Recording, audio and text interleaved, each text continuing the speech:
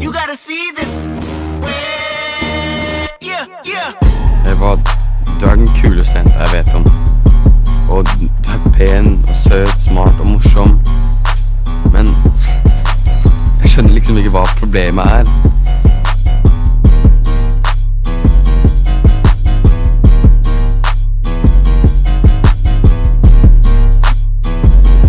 Du formidler ingenting. Det er som om du er helt